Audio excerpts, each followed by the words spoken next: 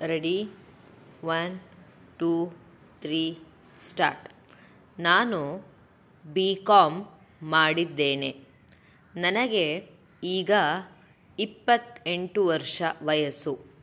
ನಾನು ಮುತಗಿ ಗ್ರಾಮದಲ್ಲಿ ಜನಿಸಿದ್ದೇನೆ. ಅಲ್ಲಿ ಮೂರನೇ ತರಗತಿವರೆಗೆ ಓದಿದ್ದೆನು.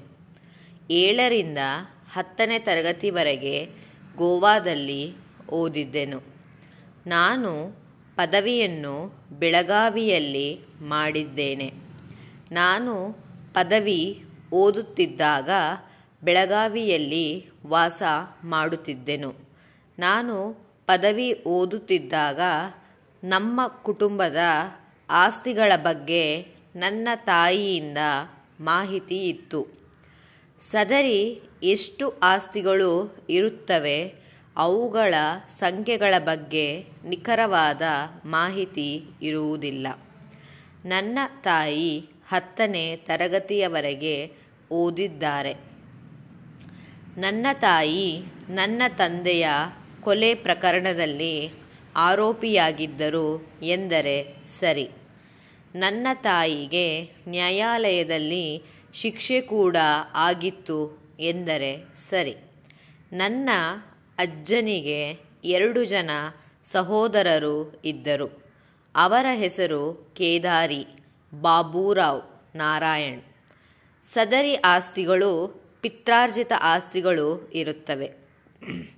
ಈ ಪೈಕಿ ನಾರಾಯಣ ದೊಡ್ಡವರು, ಕೇದಾರಿ ಕೊರೆಯವರು ಇರುತ್ತಾರೆ. ಬಾಬುರಾವ್ ವಾದಿಯ ತಂದೆ ಇರುತ್ತಾರೆ.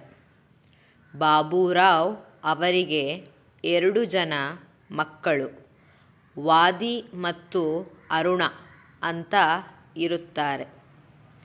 ನಾರಾಯಣ ಈಗ ಮೃತಪಟ್ಟಿರುತ್ತಾರೆ. ಅವರಿಗೆ ಒಬ್ಬನೇ ಮಗ. ಅವರು ಕೂಡ ಮೃತಪಟ್ಟಿರುತ್ತಾರೆ. ಅವರಿಗೆ ಹೆಂಡತಿ ಮತ್ತು ಎರಡು ಜನ ಮಕ್ಕಳು ಇರುತ್ತಾರೆ. ಅವರು ಜೀವಂತ ಇದ್ದಾರೆ. ಕೇದರಿ ಅವರಿಗೆ ಎರಡು ಗಂಡು, ಎರಡು ಹೆಣ್ಣು ಮಕ್ಕಳು ಇರುತ್ತಾರೆ. ಅವರು ಆರು ಮತ್ತು ಏಳನೇ ಪ್ರತಿವಾದಿಗಳು ಇರುತ್ತಾರೆ. ಗಂಡು ಮಕ್ಕಳ ಹೆಸರು ರಾಮಚಂದ್ರ, ದಿಲೀಪ್. ನನ್ನ ತಂದೆ ದಿಲೀಪ್. ರಾಮಚಂದ್ರ ಮೃತಪಟ್ಟಿರುತ್ತಾರೆ. ಎರಡರಿಂದ ನಾಲ್ಕನೇ ಪ್ರತಿವಾದಿಗಳು ಅವರ ಮಕ್ಕಳು ಇರುತ್ತಾರೆ. ಒಂದನೇ ಪ್ರತಿವಾದಿ ಅವರ ಹೆಂಡತಿ ಇರುತ್ತಾರೆ. ನನ್ನ ತಂದೆಗೆ ಎರಡು ಜನ ಮಕ್ಕಳು. ಐದನೇ ಪ್ರತಿವಾದಿ ನನ್ನ ತಮ್ಮ ಇರುತ್ತಾನೆ. ನನ್ನ ಅಜ್ಜ ಕೇದಾರಿ ನಮ್ಮ ಊರಿನ ಪ್ರಮುಖರು ಇದ್ದರು ಎಂದರೆ ಸರಿ. ನನ್ನ ಅಜ್ಜ ಅಷ್ಟೊಂದು ಶಾಲೆ ಕಲಿತಿಲ್ಲ. ಆ ಬಗ್ಗೆ ನನಗೆ ಗೊತ್ತಿಲ್ಲ. ಬಾಬುರಾವ್ ಹಾಗೂ ನಾರಾಯಣ ಒಕ್ಕಲುತನ ಮಾಡುತ್ತಿದ್ದರು. ನನ್ನ ಅಜ್ಜ ಕೇದರಿ ಸದರಿ ಆಸ್ತಿಗಳ ದಾಖಲೆಗಳ ಬಗ್ಗೆ ನೋಡಿಕೊಳ್ಳುತ್ತಿದ್ದರು ಎಂದರೆ ಗೊತ್ತಿಲ್ಲ. ನಾನು ಸಣ್ಣವಳು ಇದ್ದೆನು. ಈಗಲೂ ಕೂಡ ಎಲ್ಲ ಆಸ್ತಿಗಳಿಗೆ ಕೇದರಿ ಅವರ ಮಕ್ಕಳ ಹೆಸರುಗಳು ನಮೂದು ಇರುತ್ತವೆ ಎಂದರೆ ಸರಿ. ದಾವಾ ಆಸ್ತಿಗಳಿಗೆ ಸಂಬಂಧಪಟ್ಟ ದಾಖಲೆಗಳನ್ನು ನಾನು ನೋಡಿಲ್ಲ. ನಾನು ಉಳಿದ ಆಸ್ತಿಗಳ ಉತ್ತಾರಗಳನ್ನು ನೋಡಿದ್ದೇನೆ. ಧಾವಾ ಆಸ್ತಿಗಳನ್ನು ಹೊರತುಪಡಿಸಿ ಬೇರೆ ಹನ್ನೆರಡು ಆಸ್ತಿಗಳು ಇರುತ್ತವೆ ಎಂದರೆ ಸರಿ. ಆ ಆಸ್ತಿಗಳ ಉತಾರಗಳನ್ನು ಹಾಜರು ಮಾಡಿಲ್ಲ. ಈಗ ಸಾಕ್ಷಿದಾರರಿಗೆ ಕೆಲವು ಆಸ್ತಿಗಳ ಉತಾರಗಳನ್ನು ತೋರಿಸಲಾಗಿ ಅವುಗಳು ಕನ್ನಡದಲ್ಲಿದ್ದು ಆ ಬಗ್ಗೆ ಗೊತ್ತಾಗುವುದಿಲ್ಲ ಎಂದು ಹೇಳಿರುತ್ತಾರೆ. ಈಗ ಸಾಕ್ಷಿದಾರರಿಗೆ ಸರ್ವೆ ಸಂಖ್ಯೆ ಇನ್ನೂರ ಐವತ್ತೇಳು ಬಾರ್ ಸೊನ್ನೆ ಒಂಬತ್ತು ಉತಾರ ಓದಿ ಹೇಳಲಾಗಿ, ಅದರಲ್ಲಿ ತನ್ನ ಅಜ್ಜ ಕೇದಾರಿ ಅವರ ಹೆಸರು ಎ ಕು ಮ್ಯಾ ಅಂತ ನಮೂದು ಇರುತ್ತದೆ. ಎಂದರೆ ಸರಿ. ಈಗ ಸಾಕ್ಷಿದಾರರಿಗೆ ಸರ್ವೆ ಸಂಖ್ಯೆ ತೊಂಬತ್ತೇಳು ಬಾರ್ ಇಪ್ಪತ್ತೊಂದು ಉತಾರ ಓದಿ ಹೇಳಲಾಗಿ ಅದರಲ್ಲಿ ತನ್ನ ಅಜ್ಜ ಕೇದಾರಿ ಅವರ ಹೆಸರು ಎ ಕು ಮ್ಯಾ ಅಂತ ನಮೂದು ಇರುತ್ತದೆ ಎಂದರೆ ಸರಿ. ಅದೇ ರೀತಿ ಸರ್ವೆ ಸಂಖ್ಯೆ ಐವತ್ತ್ಮೂರು ಬಾರ್ ಹದಿನಾರು ಐವತ್ತ್ಮೂರು ಬಾರ್ ಎಪ್ಪತ್ತೆರಡು, ಇನ್ನೂರ ಹದಿಮೂರು ಬಾರ್ ಐವತ್ತೈದು, ಇನ್ನೂರ ನಲವತ್ತೊಂದು ಬಾರ್ ಐದು, ಇನ್ನೂರ ಹದಿನೇಳು ಬಾರ್ ಅರವತ್ತೊಂದು, ಇಪ್ಪತ್ತೇಳು ಬಾರ್ ಅರವತ್ತ್ಮೂರು ಐವತ್ತ್ಮೂರು ಬಾರ್ ಎಪ್ಪತ್ತೆರಡು, ಇಪ್ಪತ್ತೇಳು ಬಾರ್ ಅರವತ್ತೊಂದು. ಇಪ್ಪತ್ತೇಳು ಬಾರ್ ಮೂವತ್ತೊಂದು. ಇವುಗಳನ್ನು ಓದಿ ಹೇಳಲಾಗಿ ಅವುಗಳಲ್ಲಿ ಕೇದಾರಿ ಅವರ ಮಕ್ಕದ ರಾಮಚಂದ್ರ, ದಿಲೀಪ, ಭಾವನ, ಅನಿತಾ ಇವರ ಹೆಸರುಗಳು ಇರುವುದಾಗಿ ಒಪ್ಪಿಕೊಂಡಿರುತ್ತಾರೆ. ಸದರಿ ಉತಾರಗಳನ್ನು ನೀಪಿ ಎಂಟರಿಂದ ಹತ್ತೊಂಬತ್ತು ಎಂದು ಗುರುತಿಸಲಾಯಿತು. ಸದರಿ ಆಸ್ತಿಗಳಲ್ಲಿ ಈವರೆಗೂ ವಾಟನಿ ಆಗಿರುವುದಿಲ್ಲ ಎಂದರೆ ಸರಿ. ಸದರಿ ಉಧಾರಗಳಲ್ಲಿ ನಾರಾಯಣ, ಬಾಬುರಾವ್ ಇವರ ಹೆಸರುಗಳು ನಮೂದು ಇರುವುದಿಲ್ಲ ಎಂದರೆ ಸರಿ. ಸಾಕ್ಷಿ ಸ್ವಹೇಳಿಕೆ ಇದನ್ನು ಹೊರತುಪಡಿಸಿದ ಅವರವರ ಬೇರೆ ಆಸ್ತಿಗಳು ಇರುತ್ತವೆ. ಸದರಿ ಉತ್ತಾರಗಳನ್ನು ಹಾಜರು ಮಾಡಲು ಆಗುವುದಿಲ್ಲ.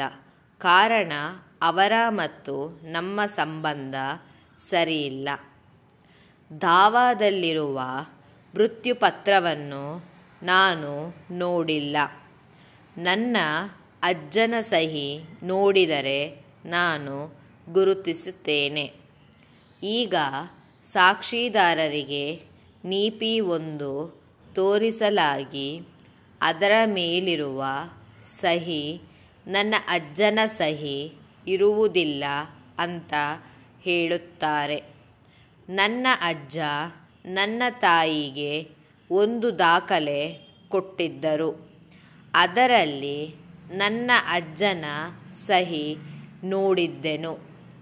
ಸದರಿ ದಾಖಲೆಯನ್ನು ನ್ಯಾಯಾಲಯಕ್ಕೆ ಹಾಜರು ಮಾಡಬಹುದು. ನೀಪಿ ಒಂದನ್ನು ನಾನು ಇದೇ ಮೊದಲ ಬಾರಿಗೆ ನೋಡುತ್ತಾ ಇದ್ದೇನೆ. ನೀಪಿ ಒಂದು ನೋಂದಣಿಯಾಗಿದೆ ಎಂದರೆ ಸರಿ.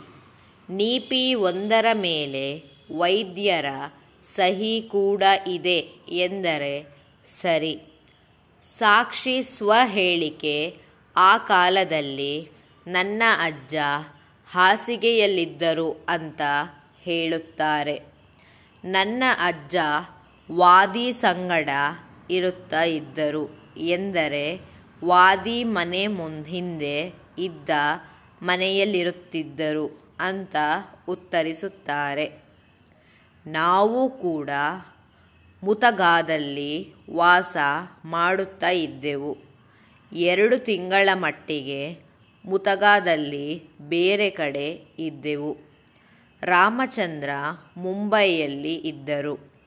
ಎರಡು ಸಾವಿರದ ಮೂರರಲ್ಲಿ ಎರಡು ತಿಂಗಳ ಮಟ್ಟಿಗೆ ಮುತಗಾದಲ್ಲಿ ಬೇರೆ ಕಡೆ ಇದ್ದೆವು. ನಾನು, ನನ್ನ ತಾಯಿ, ತಂದೆ, ತಮ್ಮ ಇರುತ್ತಿದ್ದೆವು. ನಾನು ಈಗ ಮೂರನೇ ತರಗತಿಯಲ್ಲಿ ಓದುತ್ತಿದ್ದೆನು. ನನ್ನ ತಂದೆ ಮೃತಪಟ್ಟ ನಂತರ ಗೋವಾದಲ್ಲಿದ್ದೆವು. ನನ್ನ ಅಜ್ಜ ಆಗಸ್ಟ್ ಎರಡು ಸಾವಿರದ ಮೂರರಲ್ಲಿ ಮೃತಪಟ್ಟಿರುತ್ತಾರೆ. ನನ್ನ ತಂದೆ ಸೆಪ್ಟೆಂಬರ್ ಎರಡು ಸಾವಿರದ ಮೂರರಲ್ಲಿ ಮೃತಪಟ್ಟಿರುತ್ತಾರೆ. ನನ್ನ ಅಜ್ಜ ಸಾರಾಯಿ ಕುಡಿಯುತ್ತಾ ಇದ್ದರು ಎಂದು ಸುಳ್ಳು ಸಾಕ್ಷ್ಯ ಹೇಳುತ್ತಿದ್ದೇನೆ ಎಂದರೆ ಸರಿಯಲ್ಲ. ನನ್ನ ಪ್ರಮಾಣ ಪತ್ರದ ಎಲ್ಲ ವಿಷಯಗಳು ಸುಳ್ಳು ಇರುತ್ತವೆ ಎಂದರೆ ಸರಿಯಲ್ಲ. ನನ್ನ ಅಜ್ಜನ ಮಾನಸಿಕ ಸ್ಥಿತಿ ಇರಲಿಲ್ಲ ಎಂದು ಸುಳ್ಳು ಸಾಕ್ಷ್ಯ ಹೇಳುತ್ತಿದ್ದೇನೆ ಎಂದರೆ ಸರಿಯಲ್ಲ. ನಾನು ಸಣ್ಣವಳು ಇದ್ದುದರಿಂದ ನನಗೆ ಯಾವುದೇ ವಿಷಯ ಗೊತ್ತಿಲ್ಲ ಎಂದರೆ ಸರಿಯಲ್ಲ. ವಕೀಲರು ಸಲಹೆ ಸುಳ್ಳು ಇರುತ್ತದೆ ಎಂದರೆ ಸರಿಯಲ್ಲ. ನನ್ನ ಅಜ್ಜನಿಗೆ ನಾನು ನೋಡೇ ಇಲ್ಲ ಎಂದರೆ ಸರಿಯಲ್ಲ. ನನ್ನ ಅಜ್ಜನ ದೇಕರಿಕೆವಾದಿ ಮಾಡುತ್ತಿದ್ದರು ಎಂದು ನಾವು ಸಲ, ಮೂರು ಸಲ ಡಬ್ಬಿ ಕೊಡುತ್ತಾ ಇದ್ದೆವು. ನನಗೆ ನೋಟಿಸ್ ಜಾರಿಯಾಗಿಲ್ಲ. ಮತ್ತು ಅದನ್ನು ನೋಡಿ ನಾನು ಹಾಜರಾಗಿದ್ದೇನೆ. ನನ್ನ ಅಜ್ಜ ಕೇದರಿ ಸದರಿ ದಾವ ಆಸ್ತಿಗಳನ್ನು ವಾದಿ ಹೆಸರಿಗೆ ಮೃತ್ಯುಪತ್ರದ ಮುಖಾಂತರ ಕೊಟ್ಟಿರುತ್ತಾರೆ ಎಂದರೆ ಸರಿಯಲ್ಲ. ವಾದಿಗೆ ತೊಂದರೆ ಕೊಡಲು ಈ ರೀತಿ ಸುಳ್ಳು ಸಾಕ್ಷ್ಯ ಹೇಳುತ್ತಿದ್ದೇನೆ ಎಂದರೆ ಸರಿಯಲ್ಲ. ವಾದಿಯು ವಾದಿಯು ಅವರ ಅಣ್ಣನ ಹೆಸರು ಬಿಟ್ಟು ನಮ್ಮ ಹೆಸರುಗಳನ್ನು ಮಾತ್ರ ಉತಾರಗಳಲ್ಲಿ ದಾಖಲು ಮಾಡಿದ್ದೇವೆ ಎಂದರೆ ಸರಿಯಲ್ಲ.